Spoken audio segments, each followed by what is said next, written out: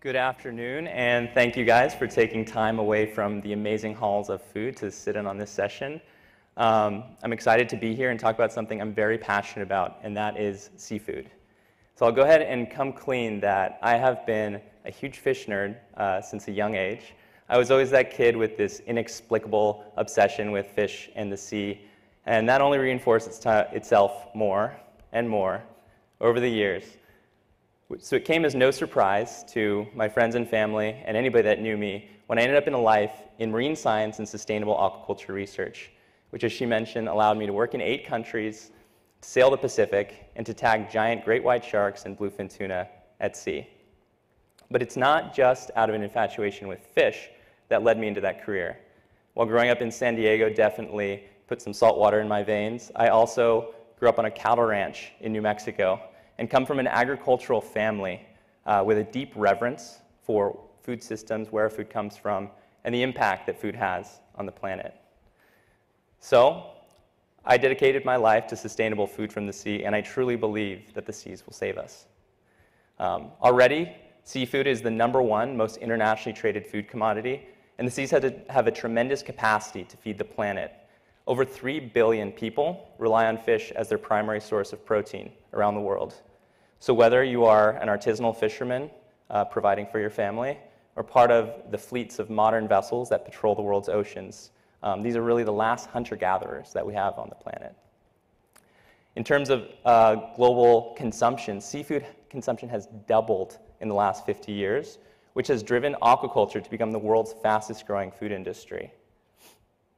So, that begs the question, why am I here at the Fancy Food Show as founder of a snack food company and the answer to that really begins with a trip to one of the most remote places in the world, uh, the Phoenix Islands in the nation of Kiribati, which is roughly the size of the United States in the Central Pacific. Um, it was there in this stunning and seemingly absolutely pristine place that I discovered and encountered uh, the impact of global illegal fishing firsthand. Abandoned nets on the reefs, sharks with long line hooks in their mouths, and even marine plastics, including abandoned fishing gear on the high tide uh, line of the atoll. Fraud, waste, and consumer level problems um, are huge issues prevalent in the global seafood industry. And in terms of seafood fraud and mislabeling, this presents a huge risk to personal health, uh, the environment around the planet, and social welfare and livelihoods of thousands, if not tens of thousands, of people around the world. Seafood, as I mentioned, the number one most internationally traded food commodity. Half of all seafood, 450 million pounds in the United States, goes to waste. And even worse, the United States imports 90% of what it consumes from overseas, less than 2% of which can be traced back to a fisherman. So, what is a consumer supposed to do with all these questions? As uh, the fish guy in my family and friend group, I would often receive text messages like this one Hey, fish friend, what is this fish? They're at a seafood counter or a restaurant. Is it safe? Is it sustainable? Is it from a clean place? Tasty? If so, how do I cook it? Please help me. In fact, one in five Americans, 65 million people, express a desire to eat more seafood in their diet if only it were a little less confusing and a little more convenient to do it. And look at this. This is unbelievable to me. Um, when you look at household penetration for seafood, it's about 54% for uh, for that category, whereas it's 99% across every other major grocery category, when my, in my opinion, is absolute bananas. So the question I asked myself in my career was, how can I bring quantifiably sustainable, healthy, high-quality seafood to people in a way that also met their desires and needs? So it didn't feel like I could do that in a, research in, in a career in research. So I packed up my life uh, in Monterey and move back to my family's cattle ranch to kind of rethink things, but also to work on getting the operation organic and grass-fed certified and possibly doing uh, value-added products like beef jerky. Well, as soon as I looked into the direction of the market, it was obvious that consumers were hungry for something healthier in the snack food category, and that in the $3 billion meat snack space, more and more people were moving away from resource intensive and um, at times unhealthy red meat for alternative options. So you can, oops, imagine the look on my grandmother's face when I told her that I was selling my cattle to start a company making fish jerky. You don't have to imagine, actually, because that's actually it. so next step was putting together an awesome team uh, who are here with me today and getting into the kitchen to begin experimenting. First, uh, in Santa Fe at home, where I made some really, really terrible fish jerky for a while. But after hundreds of hours of working on the recipe and finding success eventually, we went to one of the nation's top food labs uh, to perfect it and get ready for scaling up uh, and producing with a co-packer. We even, we were so dedicated to getting it right that we even mined hundreds of snack food and jerky recipes from the internet when deciding to pick what our first three SKUs to launch would be, which are smoked sea salt and juniper, honey lemon ginger, and fiery Cajun. But of course, it all starts with the fish and the sourcing model that is not only the foundation of what our company does, but the whole reason that One for Neptune even exists. U.S. seafood has become a globally recognized leader in sustainable seafood, and we wanted to both celebrate that and reward the amazing work of fishermen and policyholders, policymakers um, who have helped the industry uh, lead the world as far as sustainability goes. And West Coast groundfish specifically um, has a bit of a Cinderella story in the 80s and 90s, it was depleted through poor management and overseas pressure, but through the, the work of multiple stakeholders who came together to put in the right uh, practices to heal the fishery. Now the problem is finding a market for the amazing, high quality, and sustainable fish coming out in fishermen's nets. Um, the, the fishery has received MSC certification, and there's even a nonprofit group called Positively Groundfish, founded with the purpose of creating markets for these amazing fish um, coming up in fishermen's nets. Our model allows seed-to-packet guaranteed traceability for every consumer. They can actually use a, a, QR code and batch catch number on the packet to trace their product back to the fish, fisher, and fishery that it came from, including location, gear type, and even the name of the fisherman that caught the product. So the last and obviously very uh, important part of bringing this product to market was making sure that people were actually willing to taste and buy fish jerky right? So our team took to the road, conducting over 3,000 taste tests, and even uh, driving 21 straight hours in a U-Haul through walls of flames in Oregon and California to make our first delivery uh, for a large subscription box order.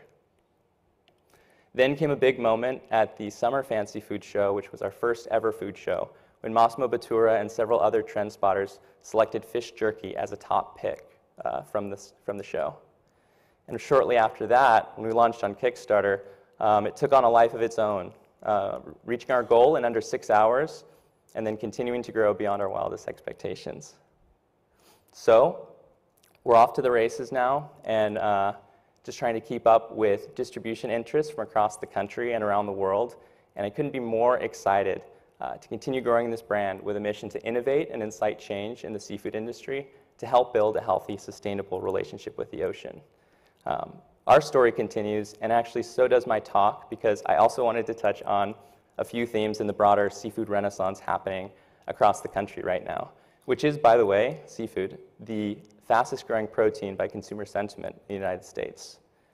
Um, one way that consumers are bringing more seafood into their diet, and I think conveys some of the themes that I mentioned of convenience and health, is through poke.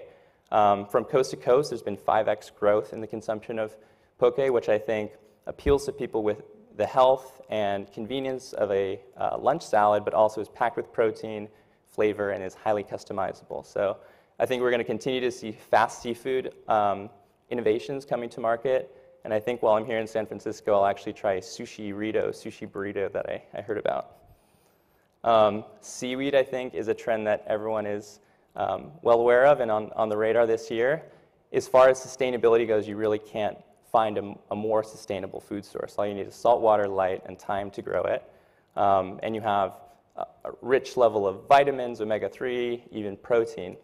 Um, there are people like uh, Michael Graham here for Monterey Bay Seaweeds, who's growing red algae in recirculating tanks and then selling boutique to the local uh, culinary market where chefs turn it into uh, a garnish for drinks, a bacon alternative on burgers, or as a center of the plate culinary creation. Um, here are friends of mine, both on the east and west coast, using wild harvest seaweed and ocean farmed in California and Maine and creating new products and uh, opportunities for seaweed in the market. And in CPG, there's been a boom in both uh, snack food and supplement and other products I think is going to is going to continue as people realize what a great, healthy, and sustainable uh, source of food seaweed is. Another really exciting and I think equally fun and delicious revolution happening right now is in shellfish. How about my friends here with the Real Oyster Cult, who uh, are sourcing directly craft oysters from small farms across the country and delivering direct to consumers at the click of a button through their app. Even Patagonia Provisions released a line of mussel-based snacks, which I think is an indication that consumers are ready uh, to both experience new flavors and new types of seafood in their daily diet. Um, so I would be remiss if I didn't take time to mention fish farming because it's both a really polarizing topic and one that I think there's a lot of misinformation about. Um, as we all know, as, foodies that understand seafood, farm fish is the devil and you should always avoid it. But um, in reality, the industry has come a really long way in advancing its sustainability of its operations. I've actually personally visited sites where they use these adorable little fish called lump suckers and others to control sea lice on salmon rather than any sort of harsh chemical treatments. And they even have um, cameras to avoid excess pellets leaving the farm and polluting the outside environment. So what it really comes down to is knowing the story behind your fish, how it's sourced, how it's produced, um, to better understand the sustainability of your seafood. And in fact, on the leading recommendation guide in the country, the Monterey Bay Aquarium's Seafood Watch, both farmed and wild salmon appear on the best choice, good alternative, and avoid lists, just as an example there. Um, and a company like Love the Wild has really taken charge in rewriting the narrative around farm fish and is finding a lot of success sourcing sustainably and telling a story about the future of aquaculture, which, in all, honesty, is needed if we're going to continue feeding the planet um, and push as long as the industries continue to be pushed in a sustainable direction. So, in summary, I know I had to kind of buzz through those examples, but I think source traceability and quantifiable metrics um, are going to continue to be a trend in the industry and, is, and are very much needed. And we're going to continue to see new innovations and new ways that uh, food producers are finding to uh, meet the desires of the market to include more seafood in their diet. And overall, more seafood at the center of the plate. Um, we at One for Neptune will certainly continue doing our job to help create a healthy, sustainable, and delicious future from the sea. Thank you.